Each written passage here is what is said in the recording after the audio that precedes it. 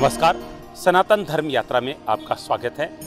परम पूज्य भाई संतोष सागर जी महाराज, राष्ट्र के युवा संत का संकल्प, पूरे राजस्थान के 33 जिलों में सनातन धर्म यात्रा के माध्यम से वैदिक यज्ञ, विभिन्न स्कूलों में जाकर बच्चों को संस्कारित करना, हमारे वेद पुराण और गीता के बारे में बच्चों को जानकारी देना और उनको संस्कारित करके सदमार्ग प्रदान करना। साथ में नित्य श्रीमद् भागवत गीता, श्रीमद् भागवत कथा ज्ञान यज्ञ का प्रचार प्रसार और रात्रि में राष्ट्रवादी भजनों की प्रस्तुतियाँ।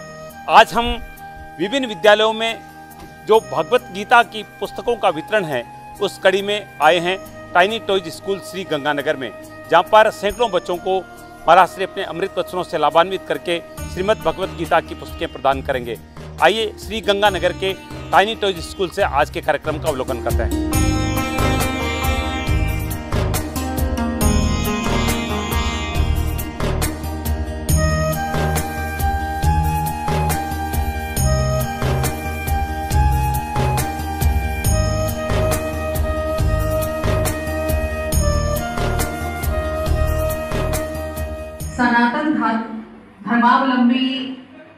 भाई बहन एवं हरि भक्त संतोष सागर जी हैं। और संतोष सागर जी के लिए मैं कुछ बताऊँ उससे पहले कुछ चीज़ें आपसे मैं बता, आ, कहना चाहूँगी। आज के युग में हम सभी लोग गीता रामायण खास तौर पे युवा पीढ़ी भूलती चली जा रही है। जब हमें अपनी संस्कृति को जानना चाहिए हमें अपनी संस्कृति का पूरी तरह से परिचय रखना चाहिए। क्योंकि अगर हम अपनी संस्कृति से दूर होते चले जाएँगे तो हम न समाज सुदृढ़ कर पाएँगे, न ही देश सुदृढ़ कर पाएँगे। क्योंकि संस्कारों की जो नींव मिलती है, वो परिवार से मिलती है। परिवार से हमें तभी ये नींव आगे मज़बूत हो पाती है हमारी जब हम हमारी संस्कृति से जुड़े रहें। आप सभी ने श्रीमद् भगवत गीता का नाम सुना हुआ है। सॉरी जैसे ही हम गीता का नाम सुनते हैं तो हमें लगता है कि संस्कृत में बहुत सारे श्लोक हैं। उन श्लोक को पढ़ना, सुनना, समझना हम लोगों के बस की बात नहीं है। लेकिन आप लोगों की जानकारी के लिए ये बहुत ज़रूरी है कि आज श्रीमद् भगवत गीता न केवल हमारे देश में, बल्कि विदेशों में भी बहुत बहुत ज़्यादा मान्यता पा रही है। और श्रीमद् भगवत गीता के जो उपदेश आज से न जाने कितने वर्षों पूर्व श्री कृष्ण ने अर्जुन को दिए थे, वो उपदेश आज के समय में पूरी तरह से प्रासंगिक भी ठहरते हैं। पर क्योंकि हमने पढ़े नहीं है, हमने जाने नहीं है तो यही हमारी सबसे बड़ी कमज़ोरी रह जाती है कि हम अपनी चीज़ों को जान नहीं पाते। इसी का एक बहुत बड़ा पीड़ा उठाया है संतोष सागर जी ने कि आज की युवा पीढ़ी को सबसे ज़्यादा ज़रूरी श्रीमद् भगवत गीता की जानकारी होनी चाहिए, वो देने का पीड़ा उन्होंने उठाया। आप लोगों के लिए सरल भाषा में उसका महत्व, उसकी जानकारी संतोष सागर जी यहाँ आपको देंगे। संतोष सागर जी की अपनी एक ट्रस्ट है, कार सेवा संस्थान चैरिटेबल ट्रस्ट, और ये श्री डोंगरगढ़ बीकानेर से हैं। इनका एक बहुत बड़ा एक अभियान चल रहा है, जिसमें वो युवाओं को इस ओर प्रेरित कर सकें, और एक बहुत बड़ा सा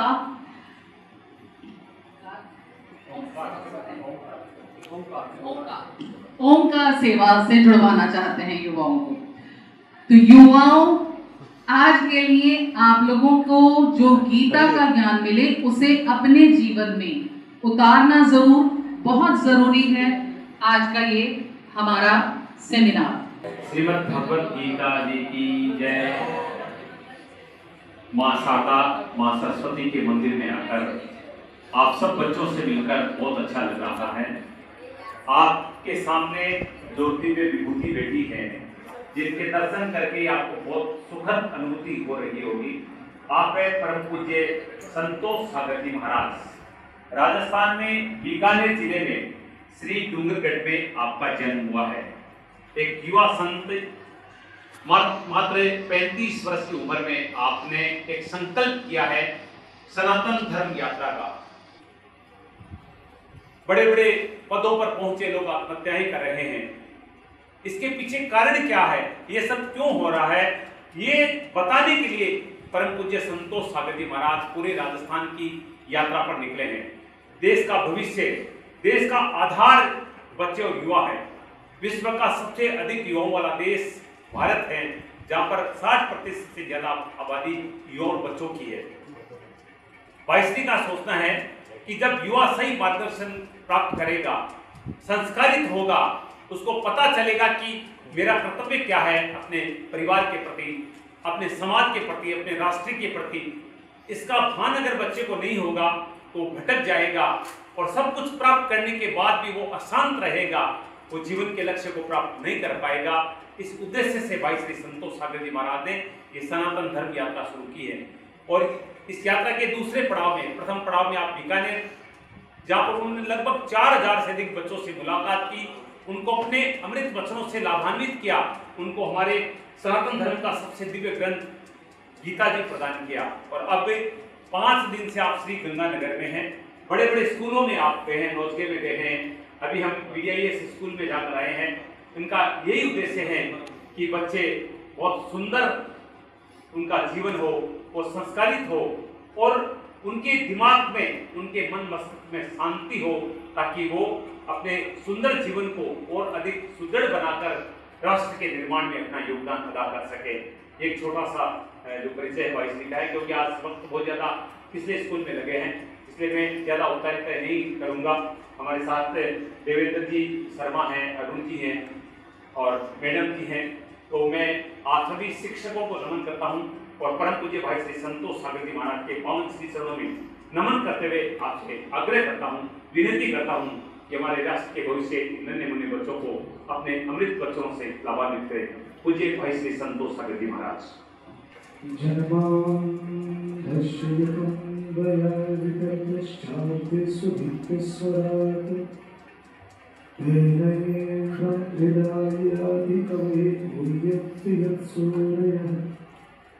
तेजो भारतदं यथा यत्र शर्वो मृषा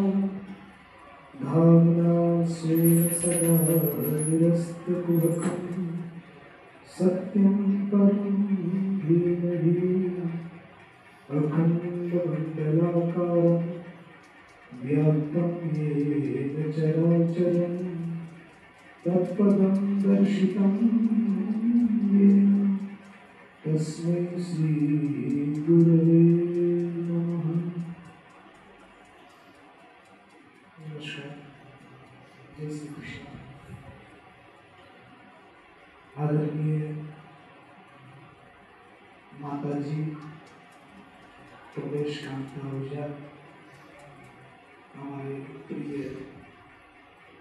वेद जी शर्मा और सभी स्कूल के अध्यापक मैनेजमेंट ग्रुप और ईश्वर तुल्य भगवान का स्वरूप, सभी नन्हे मुन्ने बच्चे, आप सभी को मेरा प्रणाम।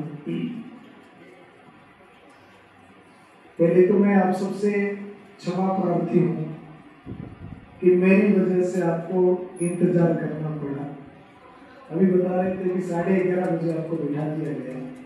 तो मेरी मेरी सॉरी मैं थोड़ा सा लेट हो गया। अभी बी में कार्यक्रम था तो वहाँ पर थोड़ा सा औपचारिकता में समय लग गया। तो सनातन धर्म यात्रा एक साल का एक छोटा सा संकल्प लेकर मैं ये यात्रा कर रहा हूँ। और मेरा ध्येय है कि राजस्थान के 33 जिलों में जाकर मैं सभी स्टूडेंटों से, विद्यार्थियों से जहाँ तक संभव हो, मिल सकूँ। क्योंकि अगर मुझसे कोई प्रश्न करे, पूछे कि आपको सबसे ज़्यादा अच्छा क्या लगता है?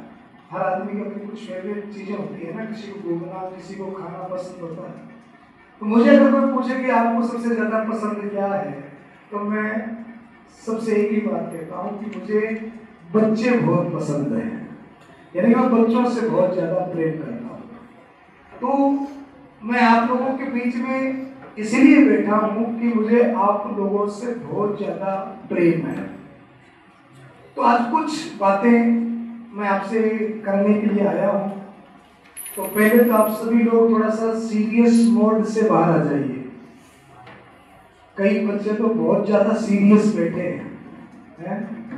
सीरियस मत बैठो सीरियस मोड से बाहर आ जाओ। मैं आपका थोड़ी देर सर खाने के लिए आया हूँ। तो वो मैं खाकर ही जाऊँगा। तो कुछ बातें मैं आपसे करना चाहता हूँ। आप लोगों को पता है, आदमी सुंदर कब लगता है? अच्छे कपड़े पहनने से या अच्छी डिजाइनदार कटिंग बनवा लेने से आदमी सुंदर नहीं लगता है। आदमी सुंदर लगता है जब उसके चेहरे पर मुस्कुराहट होती है।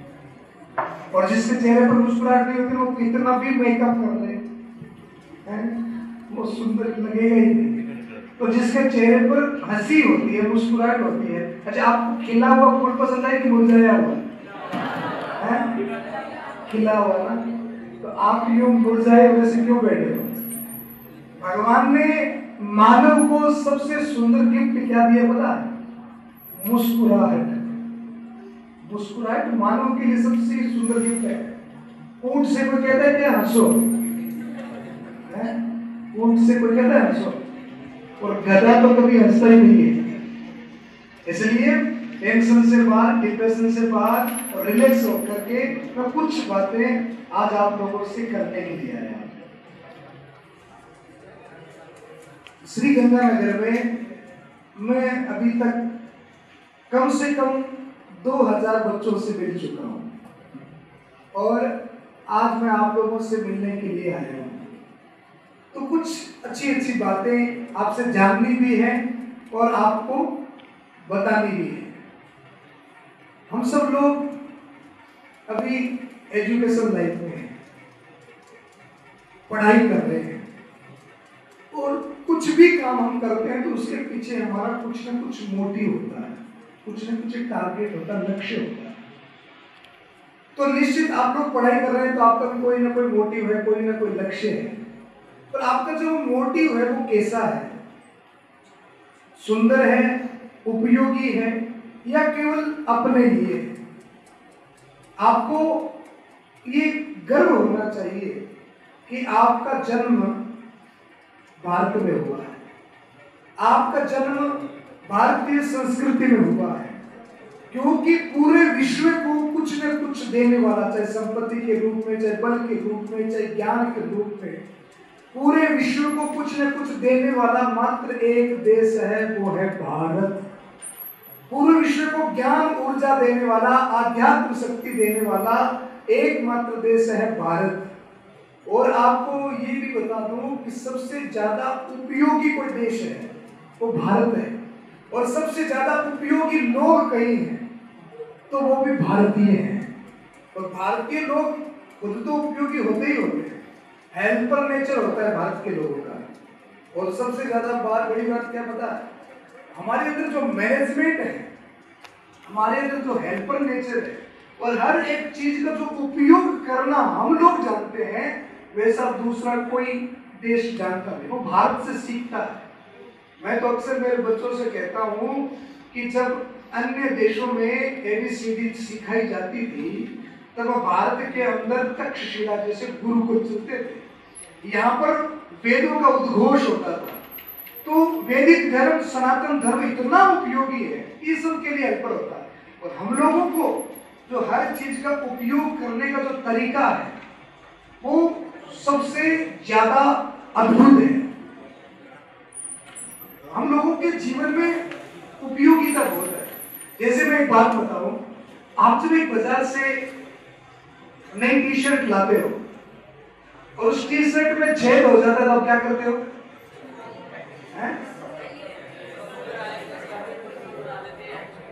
पोछा नहीं बनाते।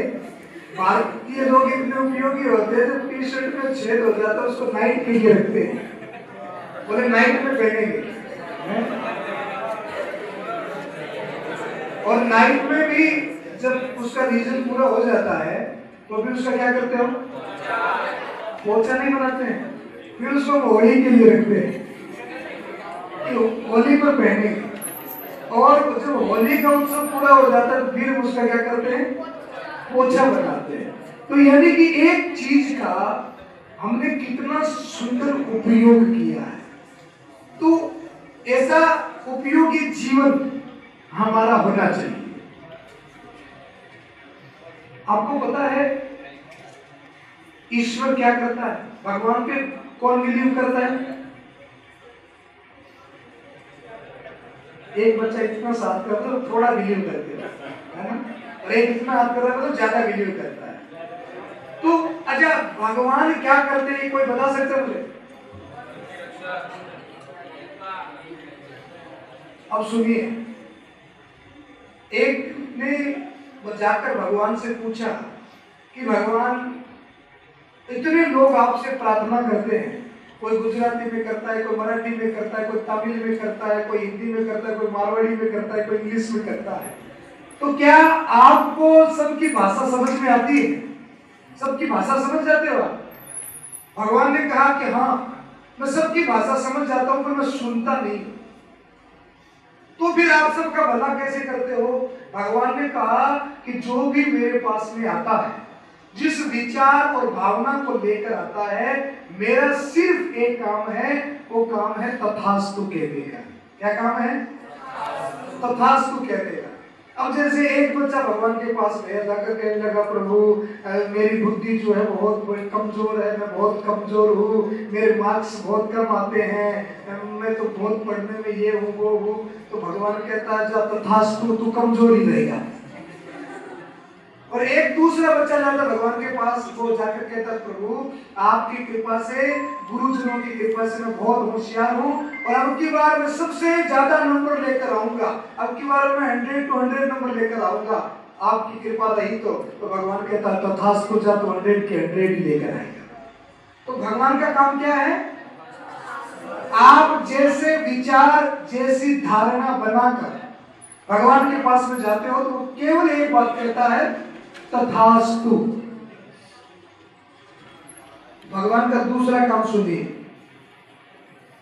भगवान हर एक व्यक्ति को तीन पेज की डायरी लेकर भेजता है। कितने पेज की? तीन पेज की डायरी तीन ही पत्ते होते हैं उसमें। उस तीन पेज की डायरी में पहले पेज पर और आखिरी पेज पर भगवान खुद लिखता है। पहले पेज पर क्या लिखता है पता है? जन्म। और आखिरी पेज पर?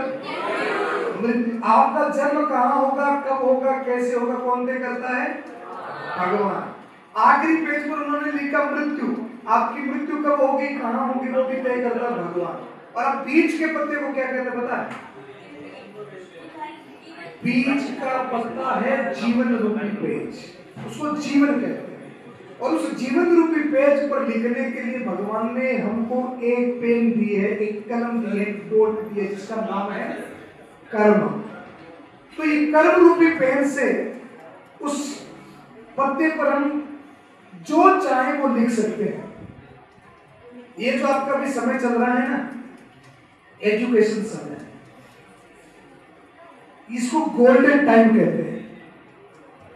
इन 25 वर्षों का जो महत्व समझ लेता है, उसके आगे के पिछहत्तर वर्ष बहुत ही ज़्यादा सुंदर होते हैं। और जिन्होंने इस 25 वर्षों की अहमियत नहीं समझी, आगे के उसके बिल्कुल खराब होते हैं। आज के बच्चों को दो चीज़ें बड़ा खराब कर देती है। कौन कौन सी? बोले, पहली चीज़ तो है फ़ैशन और दूसरी चीज़ है व्यसन व्यसन समझते हो? नशा। तो आप तो छोटे छोटे बच्चे हैं निश्चित आप इससे दूर होंगे पर फ़ैशन से दूर नहीं है हैं? है कि नहीं? तीन जगह से फटी हुई पेंट पहनने का शौक किसको है, है? ये घुटनों से जो फटी हुई पेंट होती है वो किसको अच्छी लगती है पहनने में? कई कई बच्चे तो ऐसे एक तरफ़ से कटिंग करवा के आते हैं जैसे नाई आदि कटिंग करके भूल गए हो ये जो फ़ैशन और व्यसन है। ये आपकी शत्रु है। और जो इन चीज़ों में ब्रांडेड कपड़े हो ब्रांडेड मोबाइल हो ब्रांडेड शूज़ हो, फलाने हीरो की जैसी कटिंग करवाऊं, ये करवाऊं, जो बच्चा इन चक्रों में पड़ जाता है, वो मानो कि उसके प्रोग्रेस में वहीं पर ब्रेक लग गए। फिर वो आगे प्रोग्रेस नहीं कर पाता। मैं अक्सर कहता हूँ, जीवन जो है, वो एक आइसक्रीम की तरह है। किसकी तरह है? आइसक्रीम की तरह है। अगर इसको संभाल के नहीं रखोगे, इसका महत्व तो नहीं समझोगे तो ये पिघल जाएगी। और आपको बता दूँ, आइसक्रीम जब पिघलती है तो किसी को कोई फ़ायदा नहीं होता है। तो जीवन हमारी आइसक्रीम की तरह ये पिघलना ही पिघलना है। और कब पिघल जाए, कोई पता नहीं है। तो जो समय हमारे पास में अवेलेबल है, उस समय का हमें सदुपयोग करना चाहिए। उस समय के महत्व को हमें समझना चाहिए। ये स्कूल इंग्लिश मीडियम है, हैं? तो आपको मेरी हिंदी की बातें समझ में आ रही है कि नहीं आ रही? अभी मैं संस्कृत में बोलूँगा तो समझ में आएगा? और इंग्लिश में? इंग्लिश तो मुझे आती नहीं है। संस्कृत आप समझोगे नहीं। तो बीच में क्या बची? हिंदी बची। और हिंदी हमारी राष्ट्रभाषा है। आप इंग्लिश पढ़ो, संस्कृत पढ़ो चाइनीज़ पढ़ो, सब पढ़ो। पर हिंदी, आप जब आप में से कोई आईआईटी करके इंजीनियर बनेगा, कोई डॉक्टर बन जाएगा, कोई बहुत बड़ा उद्योगपति बनेगा, जब आप प्लेटफॉर्म पर काम करोगे ना तो आपको हिंदी भाषा की बहुत ज़्यादा आवश्यकता पड़ेगी। और आप हिंदी भाषा को भी पढ़िए, उसको भी सीखिए। हमारी पहले की भाषा क्या थी? संस्कृत। लुप्त हो गई ना धीरे धीरे आज हम फिर हिंदी आई। अब हिंदी भी लुप्त हो रही है, हम इंग्लिश में जा रहे हैं। तो हिंदी और संस्कृत तो हमारी भाषा है राष्ट्रभाषा है। और अंग्रेज़ी हमारी राष्ट्रभाषा नहीं है। तो अंग्रेज़ी सीखनी है व्यवहार के लिए। पर अपनी मातृभाषा को हमें नहीं भूलना। मैं तो ये भी कहूँगा, अभी हम आइसक्रीम की बात कर रहे हैं। तो आपको पता है संस्कृत में आइसक्रीम को क्या कहते हैं? आपको शायद संस्कृत भाषा में रुचि नहीं होगी, पर संस्कृत भाषा इतनी मधुर भाषा है कि संस्कृत में आप किसी को गाली भी देते हो ना तो उसे लगता है कि मेरे लिए कोई कविता पढ़ रहा है। ऐसी भाषा जैसे आप, आपने हिंदी में किसी से कहा कि ओ कुत्ते तो उसको बुरा लग जाएगा।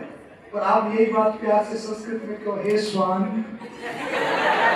तो वो बड़ा राज़ी हो जाएगा। आप किसी को हिंदी में कहो कि ओ गधे तो वो गुस्सा हो जाएगा। और आप किसी को संस्कृत में बोलो, हे वैशाख नंदन तो वो बड़ा राज़ी हो जाएगा। मानो उसके लिए कोई कविता हो रही मैं कह रहा था कि जीवन जो होता है, वो आइसक्रीम के जैसा होता है। आइसक्रीम के जैसा तो आइसक्रीम को संस्कृत में क्या कहते पता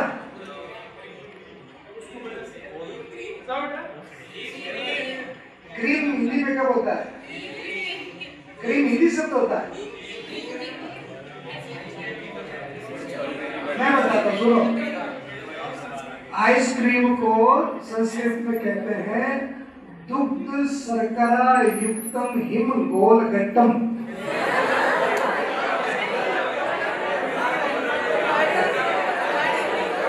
क्या कहते हैं? दुग्ध शर्करा युक्तम हिम गोल घट्टम। आपकी बार किसी से आइसक्रीम लेने के लिए जाओ ना तो उसे कहना कि दुग्ध शर्करा युक्त हिम गोल घट्टम दीजिए। अच्छा इसमें भी अगर आपको मैंगो फ्लेवर लेना हो आम की आइसक्रीम तो आप कहना आम्र दुग्ध शर्करा युक्तम हिम गोलगट्टम और इतना आप कहोगे, उतने में आपकी आइसक्रीम पिघल जाएगी। तो हमारा जीवन जो है ना, वो आइसक्रीम के जैसा है। ये पिघलना ही पिघलना है। तो अपने जीवन का महत्व समझिए। थोड़ा साइलेंट अपन सुनेंगे तो मुझे अच्छा लगेगा।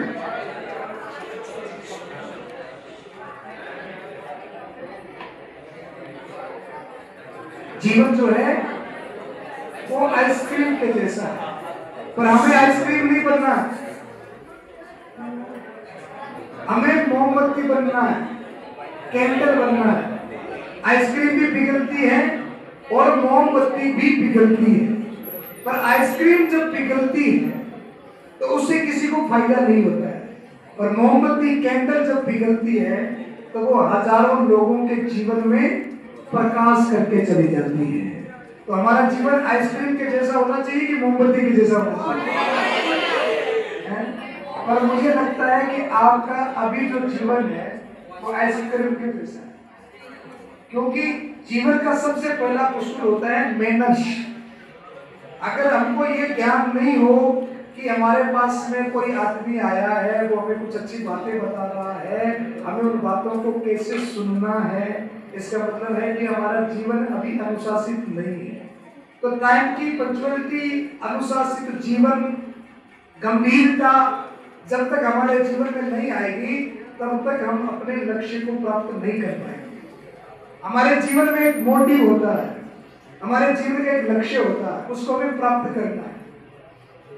आप नर्सरी से लेकर कोई एलएलबी करेगा, कोई एमबीए करेगा, कोई आईआईटी करेगा, आप अपने जीवन काल में कितनी किताबें पढ़ेंगे? हज़ारों किताबें पढ़ लेंगे। और उन हज़ारों किताबों से केवल आपका बुद्धि बल बढ़ेगा बुद्धि बल तेज हो जाएगा। बुद्धि में आप वो तेज हो जाएँगे। पर बुद्धि के साथ साथ में एक होता है बुद्धि बल। एक होता है बाजू बल। एक होता है धन का बल। ये तीनों बल आपके तभी काम करेंगे जब आपके पास में एक चौथा बल और होगा। कौन सा? धन बल, बुद्धि बल बाजू बल ये तीनों नहीं ये तीनों बल आपके तभी काम करेंगे जब आपके अंदर एक चौथा बल और होगा। उस चौथे बल का नाम बताओ। उस चौथे बल का नाम है मनोबल। कौन सा बल? आप कितने भी बुद्धिमान है, आपके बाजू में कितनी भी ताकत है, आपके पास में कितना भी धन है, पर आप उसका इस्तेमाल नहीं कर पाओगे, आप उसका उपयोग नहीं कर पाओगे, जब तक आपके पास में मनोबल नहीं होगा। आज आप देखते हो अखबार में, टेलीविज़न में यूट्यूब पर, मोबाइल में बड़े बड़े हाई क्वालिटी के लोग हाई एजुकेटेड लोग हाई प्रोफ़ाइल लोग आपने पुलिस अफसरों के बारे में सुना, आपने नेताओं के बारे में भी सुना, आपने बॉलीवुड के बारे में भी सुना, बहुत बड़े बड़े हीरो जिनके पास नाम, पद, पैसा फेम सब कुछ है। फिर भी वो सुसाइड कर लेते हैं, आत्महत्या कर लेते हैं। क्यों? क्योंकि उनके पास बुद्धि बल था, धन बल था और उनके पास में मनोबल नहीं था। आदमी अपने लक्ष्य को सुंदर बनाने के लिए अच्छा एक बात ईमानदारी से बताना, अपने जीवन को लेकर कौन गंभीर है और अपने जीवन में बहुत बड़ा मुकाम कौन कौन प्राप्त करना चाहता है? आप सब बड़े बनना चाहते हैं। और उस बड़े बनने के लिए आपके अंदर कौन से लक्षण होने चाहिए? आपकी कई बच्चे बहुत बड़े बड़े मुझे दिख रहे हैं, और वो जितने बड़े बड़े हैं, वो उतने ही अभी तक बच्चे भी हैं। कई एक छोटी सी उम्र में भी बहुत गंभीर हो जाता है, अपने जीवन की मोटिव को समझ लेता है। कई बच्चे बहुत बड़े बड़े हो जाते हैं हाइट से कद से, मगर वो फिर भी बड़े नहीं हो पाते, फिर भी वो बच्चे के बच्चे ही रहते हैं। बच्चा किसे कहते हैं? कौन बताएगा? बच्चा कौन होता है? छोटा बच्चा बच्चा होता है। बच्चा उसे कहते हैं जिसको बचा बचा के रखा जाए। बच्चा किसे कहते हैं? जिसको बच्चा बच्चा के रखा जाए। कभी मम्मी बचाती है, कभी पापा बचाते हैं, कभी टीचर्स बचाते हैं। बुरी आदतों से, बुरी संगति से आप ऐसा मत करो, आप ऐसा मत करो। ये आपके लिए अच्छा है, ये आपके लिए बुरा जिसको बचा बचा के रखा जाए, उसे कहते हैं बच्चा। आज मैं आपके पास आया हूँ। मुझे आपसे कोई स्वार्थ नहीं है। मुझे आपसे कोई लेना नहीं है। पर मुझे आपसे बहुत प्रेम है। मुझे अपने राष्ट्र से बहुत प्रेम है, मुझे अपने देश से बहुत प्रेम है। और मुझे ये पता है कि इस भारत देश की बागडोर, इस भारत देश का भविष्य आप सब लोग हो। और आप सब लोगों के अंदर इतनी संभावनाएँ हैं कि आप में से ही कोई इस राष्ट्र का प्रधानमंत्री, राष्ट्रपति बनेगा। आप में से कोई भारत का बहुत बड़ा उद्योगपति बनेगा। आप में से कोई भारत का बहुत बड़ा डॉक्टर, इंजीनियर बनेगा। ये सारी की सारी संभावनाएँ आपके अंदर हैं। और इस संभावनाओं के पीछे एक सुंदर लक्ष्य, एक सुंदर मोटिव होना चाहिए। ऐसा नहीं कि मुझे डॉक्टर बनकर पैसा कमाना ऐसा नहीं कि इंजीनियर बनकर मुझे बहुत सारा धन कमाना है। इसके पीछे एक सुंदर मोटिव होना चाहिए। और जिसका लक्ष्य सुंदर होता है, वो अपनी सफलता को प्राप्त करता है आपको पता है, एक डॉक्टर जब ऑपरेशन करने के लिए आता है हाथ में क्या लेकर आता है? चाकू लेकर आता है, छुरी लेकर आता है। और एक डाकू जब आपके पास में आता तो क्या लेकर आता है? छुरी लेकर आता है। और दोनों क्या करते हैं? पेन चूटे काटते हैं। और मज़े की बात तो यह कि दोनों ही मुँह ढककर आते हैं। डाकू भी मुँह ढककर आता डॉक्टर भी मुँह ढककर आता दोनों ही छुरी लेकर आते पर दोनों के मोटिव में अंतर देखिए, काम एक जैसा है। पर दोनों के मोटिव में अंतर कितना है? बोले, एक तो जान लेने का काम करता है और एक जान बचाने का काम करता है। तो डाकू तो पुलिस से दौड़कर छुप कर रहता है और डॉक्टर, बोले, वो गवर्नमेंट से सम्मानित होता है। उसको पद्मश्री मिलता है, राष्ट्रीय पुरस्कार मिलते हैं। हम जो काम कर रहे हैं, उसके पीछे में हमारा मोटिव क्या है, हमारा लक्ष्य क्या है, ये बहुत बड़ी बात होती है। और दूसरी बात मैं आपको एक कहकर जाता हूँ, हमारे गुरुदेव ने हमसे सदा एक बात कही कि लक्ष्य जो होता है ना, वो हमेशा ऊँचा होना चाहिए।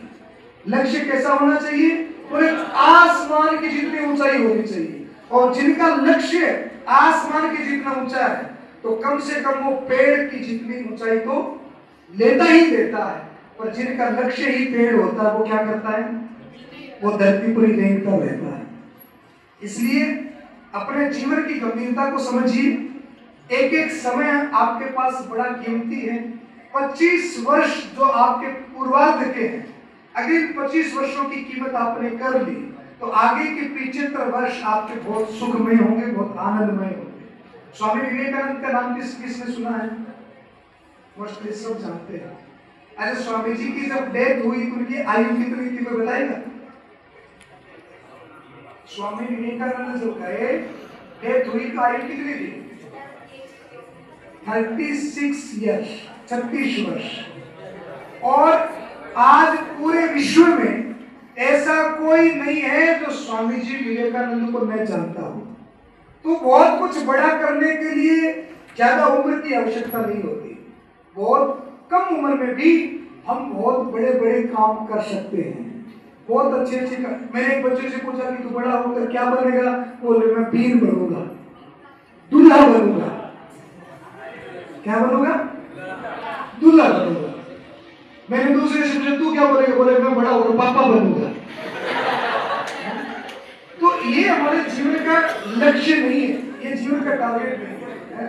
हमारा जो समय है ना वो बहुत उपयोगी है। इस समय की कीमत समझो। और जो इसकी कीमत समझेगा ना, उसका नंबर एक अच्छे लेवल पर बहुत जल्दी नंबर आ जाएगा। है? और निकम्मे लोग जो होते हैं ना, जो ज़्यादा पढ़ाई लिखाई जो नहीं करते, कुछ नहीं कर पाते तो उनका नंबर पहले शादी में ही आता है। है? माँ बाप सोचते हैं कि बाद में विफल हो जाएगा समय पे इसकी शादी कर दो। कई करो, एक कोई वो एक मासी भांजा। मासी जी की उम्र थी साठ साल की और भांजे की उम्र थी तीस साल की। दोनों में बड़ा प्रेम था। साथ साथ में रहते थे। तो मौसी जो है ना, वो घर में कोई भी शादी होती ना तो बच्चा जो पढ़ता नहीं है माँ बाप सोचते से जल्दी से शादी करवा, ताकि कुछ काम लग जाए। तो वो मौसी उसको जब भी कोई घर में शादी होती है ना तो मौसी उसकी एक कोनी लगाती अगला तेरह नंबर है। घर में होता है ना, जब बच्चा बड़ा हो जाता है तो माँ बाप से कहते रहते अगला तेरह नंबर अगला तेरह नंबर तो शादी की बात से बच्चे बड़ा परेशान होते हैं। अरे, क्या शादी शादी हमें भी पढ़ाई करना है, कुछ बनना तो वो माँ से घर में जो भी शादी होती है, अपने भांजे से कहते अगला तेरह नंबर, अगला तेरह नंबर है। एक दिन उसी घर में किसी की डेथ हो गई, मर गई। तो वो भांजा मौसी के पास में ही बैठा था और मौसी से कहने लगा, अगला तेरह नंबर तो नंबर लाने के लिए आयु की ज़रूरत नहीं होती। स्वामी विवेकानंद ने तो 35 साल की उम्र में अपने जीवन के लक्ष्य को प्राप्त किया। और आज पूरे विश्व में ऐसा कोई नहीं जो स्वामी जी को जानता है। तो अपना आइडियल जो है वो सुंदर होना चाहिए, अपने जीवन का लक्ष्य सुंदर होना चाहिए। और अभी का जो आपका समय है मोस्ट इम्पोर्टेंट गोल्डन टाइम है, इसकी कदर करो। और इसके साथ साथ में आपको हज़ारों किताबें आपकी बुद्धि को बढ़ाने वाली है। आपको एक सफल व्यापारी, सफल इंजीनियर, सफल डॉक्टर बना देगी। पर इससे पहले ज़रूरत है कि हम एक अच्छे मानव बने और हमारे अंदर इतना मनोबल हो कि हम सब कुछ प्राप्त कर सके, अपने लक्ष्य को प्राप्त कर सके, अपने जीवन में एक अनुशासन आए, गंभीरता आए। हमारे जीवन में किसी भी प्रकार का डर भय न रहे। हमारे जीवन में कभी डिप्रेशन न आ पाए और हम अपने पूरे लक्ष्य को प्राप्त कर सके।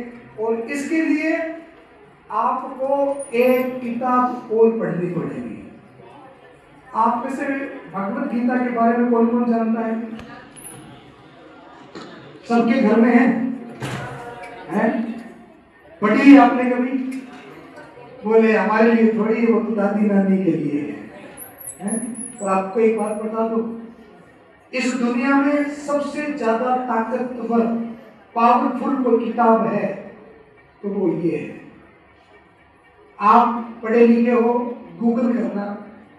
इस दुनिया के सभी कंट्रीज़ में 128 देशों में बड़ी बड़ी यूनिवर्सिटी में फ्रांसीस कनाडा अमेरिका इटालियन चाइनीज़ हर एक भाषा में आपको एक किताब मिलेगी जिसका नाम है भगवत गीता। और ऐसी कोई विदेशी कंट्री नहीं है जिसमें इस किताब को न पढ़ाया जाए। इसको कोई रिलीजन से मत जोड़ना, कोई धर्म से मत जोड़ना। ये दुनिया की सबसे बड़ी मनोचिकित्सक किताब है। आप जितने भी मोटिवेशनल स्पीकरों को सुनते हैं, जितने भी मोटिवेशनल किताबें पढ़ते हैं, वो सारी की सारी स्पीच कहाँ से निकल कर आती है पता है? वेद ग्रंथ उपनिषद है, और सबका जो रहस्य, जो सार है, वो इसमें भरा हुआ है। और एक बात मैं आपको और बता दूँ, ये जो भगवत गीता है, इसके अंदर जो कृष्ण ने संदेश दिया है अर्जुन के लिए, वो केवल अर्जुन के लिए नहीं है, वो हमारे सबके लिए है। एक इस किताब को जो आदमी समझ लेता है, मैं गारंटी लेता हूँ, वो अपने जीवन में किसी भी आयाम को प्राप्त कर सकता है और वो अपने जीवन में कहीं पर अटक नहीं सकता। ये इतनी बड़ी मनोचिकित्सक किताब है, जिसमें श्री कृष्ण कहते हैं कि आपको पता है, अपनी ज़िंदगी में कौन हार जाता है? कौन आदमी हारता है? श्री कृष्ण कहते हैं, संशय आत्मा विनश्य जिसके जीवन में संशय बना रहता है, अपने कार्य को लेकर, अपने कॉन्फिडेंस को लेकर, अपने कर्म को लेकर, वो आदमी जीवन में हार जाता है। तो गीता क्या करती है? वो संशय को खत्म करती है और गीता कहती है श्रद्धावान लवदे ज्ञानम। जो अपने जीवन के प्रति, अपने कार्य के प्रति, अपनी पढ़ाई के प्रति हमेशा श्रद्धावान रहता है, अपने राष्ट्र के प्रति जो समर्पित रहता है, ऐसा व्यक्ति लाखों में एक होता है, वो अपने जीवन के चरम लक्ष्य को प्राप्त कर लेता है। तो अब हज़ारों किताबें पढ़ते हैं और उन हज़ारों किताबों को शक्ति प्रदान करने वाली, ज्ञान बल के साथ साथ, बुद्धि बल के साथ साथ, मनोबल को बढ़ाने वाली कौन सी किताब है? श्रीमद भगवत गीता। तो ज़्यादा समय में आपका नहीं लूँगा, मुझे एक दो जगह और भी जाना है। पर मैं आपसे ये निवेदन करूँगा, आप अपने जीवन में, अपनी किताबों में, अपने सिलेबस में, अपने बैग में एक किताब को और सम्मिलित कीजिए। कौन सी? श्रीमद भागवत गीता, जिसमें आपको ज्ञान योग, भक्ति योग और कर्म योग की बातें कही जाती है। दो चीज़ें होती है ना, एक कर्म होता है और एक भाग्य होता है। कर्म मीन्स कैरेक्ट कर्म होना चाहिए, बुरा कर्म नहीं होना चाहिए। जो कैरेक्ट कर्म होता है, वही कर्म होता है। बुरा कर्म भी कर्म होता है। तो तीन चीज़ें इसमें हैं। आपको कर्मठ बनना है, मेहनत करनी है। दूसरा, आपके अंत मन में उचित ज्ञान होना चाहिए, अपने कर्तव्य के प्रति, अपने राष्ट्र के प्रति, अपने गुरुजनों के प्रति, अपने माता पिता के प्रति हमारा क्या कर्तव्य बनता है, वह ज्ञान आपको होना चाहिए। और तीसरी, आपके अंदर राष्ट्र भक्ति गुरु भक्ति मातृ भक्ति होनी चाहिए। और जिसके अंदर भक्ति होती है, ज्ञान होता है, कर्म होता है, ये तीन चीज़ें एक साथ जिसके अंदर होती है, वो अपने हर लक्ष्य को प्राप्त कर लेता है। और इन तीनों में से एक की भी कमी रहती है तो कहीं ना कहीं आदमी हार जाता है और फेल हो जाता है। तो मुझे विश्वास है कि मैं जो समय आपके पास में लेकर आया हूँ, भगवत गीता आप पढ़ेंगे तो एक बार के लिए तो आप बोर हो जाएँगे, समझ में नहीं आएगी। इसलिए अपने गुरुजनों से, मम्मी पापा से पूछना, अपने स्कूल का होमवर्क करके, स्कूल की पढ़ाई को पूरा करके, जो समय आपके पास बचे फैसल वैसल और मोबाइल से दूर रहकर 25 साल ईमानदारी से अपना जीवन जी लो इन 25 साल अपनी ईमानदारी से जीवन को जियो। आगे के पिछहत्तर साल आप एकदम सुखी और आनंद में होंगे। जो अचीवमेंट आप करना चाहे वो आपको मिलेगा। लोग आपको सल्यूट करेंगे। अगर आपने इस 25 साल की कदर कर ली, इस भगवत गीता के एक, दो, तीन पेज को आप रोज पढ़ेंगे। और समझने की कोशिश करेंगे कि इसमें क्या लिखा हुआ है और आपका जीवन बदलने वाली ये किताब है। तो मैं आज आपकी बात बीच में आया हूँ। आज मैं आप सबको ये भगवत गीता भेंट करना चाहता हूँ। तो मेरा गिफ्ट स्वीकार करेंगे आप? और गिफ्ट की कीमत कुछ नहीं होती है। गिफ्ट बहुत अनमोल होता है।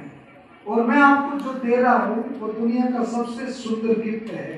तो आप सदैव इसको अपने पास में रखेंगे।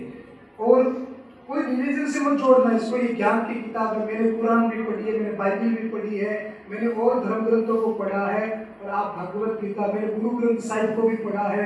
आप ये भगवत गीता पढ़ना, ये दुनिया की सबसे ज़्यादा मोटिवेशनल किताब है, सबसे ज़्यादा पावरफुल किताब है। आप इसको पास में रखना। अपने, जिससे आप सबसे ज़्यादा प्रेम करते हो। मैं आपको ये क्यों दे रहा हूँ? क्योंकि मुझे बच्चों से प्रेम है। तो आप भी जिससे प्रेम करते हैं तो उसको क्या गिफ्ट करेंगे? भगवत गीता और इसकी अच्छी बातें आप समझ करके अपने मित्रों के बीच में इसका प्रचार कर सकते हैं, अपनी बातें एक दूसरे के साथ में शेयर कर सकते हैं। तो आप अगर अपने जीवन से, अपने आप से प्रेम करते हैं, अपने जीवन को सुंदर बनाना चाहते हैं तो आप अपने सिलेबस में अपनी किताब में इसको रखिए और भगवत गीता को आप रोज पढ़िए। ये किताब आपके जीवन को बदलने वाली किताब है। तो मैं आज आपको ये गिफ्ट में देकर जाऊँगा। निश्चित आप इसको पास में रखेंगे। और अभी एक साल तो मेरा शेड्यूल पूरा बिज़ी है। 2023 में मैं कोशिश करूँगा कि आपके पास एक बार फिर आऊँ। और एक साल बाद जब मैं आऊँगा तो आपके अंदर बहुत सारा अनुशासन और बहुत सारा अंतर होगा। और निश्चित भगवत गीता के प्रति आपका बहुत अच्छा भाव होगा। तो आप इसको पढ़ेंगे कि नहीं पढ़ेंगे? पक्का? प्रॉमिस मुँह से बोले हाथ ऊपर करके बताओ ये हिंदी में भी है संस्कृत में भी है गूगल करोगे तो इंग्लिश में भी है। हर भाषा में जिस भाषा में आपको पढ़ना हो उस भाषा कई बच्चे हाथ ऊपर नहीं कर रहे हैं? एक एक टीचर ने पूछा अपने बच्चों से कि जो सबसे आलसी है ना मैं उसको आज बड़ा इनाम दूँगी। जो सबसे आलसी है। तो हाथ ऊपर करो कौन कौन आलसी है? तो किसी ने इतना हाथ ऊपर किया, किसी ने इतना हाथ किया, एक कोई मेरे जैसा तो वैसे मुँह लटका के बैठा तो टीचर ने कहा, तुझे इनाम नहीं चाहिए? बोले टीचर इनाम तो चाहिए, पर हाथ ऊपर कौन करे? तो टीचर ने देखा कि ये सबसे ज़्यादा आलसी है तो इसी को इनाम तो ये बहुत सुंदर गिफ्ट मैं आपके लिए लेकर आया हूँ। आपने प्रॉमिस भी किया है कि आप इसको पढ़ेंगे, दूसरों को भी पढ़ाएँगे। और ये आपके जीवन को बिल्कुल बदल देगी। तो आप अपने पास में रखना और दूसरों को भी इसके लिए प्रेरित करना। आप जिससे प्रेम करते हैं, उसको ये गिफ्ट प्रदान करना। और अपने जीवन के प्रति थोड़ा सा गंभीर हो जाओ। ये 25 साल आपके लिए बहुत काम की चीज़ें हैं। आपके गुरुजन और अवजा मैडम जो आपके लिए मेहनत कर रही है तो इनकी मेहनत भी सफल हो जाएगी। हर गुरु चाहता है हर स्कूल का टीचर ये चाहता है कि हमारे द्वारा पढ़े हुए बच्चे सफल हो, वो आगे जाकर बहुत बड़े इंसान बने, बहुत अच्छे इंसान बने। तो आप इनके मनोरथ को पूरा करेंगे। अपने जीवन के प्रति गंभीर होकर आपका साथी, आपका मित्र क्या कर रहा है, इसके ऊपर मत जाए। किसी से स्पर्धा मत करें। आप केवल अपने आप के ऊपर फोकस करें और आपको कुछ बनना है, आपको भारत के लिए कुछ करना है, आपको अपने माता पिता के लिए कुछ करना है। इसलिए आप एक अपना टारगेट लक्ष्य बना करके जिए, अपना काम करें और उसमें आप भगवत गीता को शामिल करें जो आपके जीवन को बहुत ही ज़्यादा सुंदर बना सकती है। तो इसी के साथ मैं अपनी वाणी को पूरा करता हूँ। एक एक गिफ्ट देके जा रहा हूँ। आप इसको हमेशा अपने पास में रखेंगे और का बहुत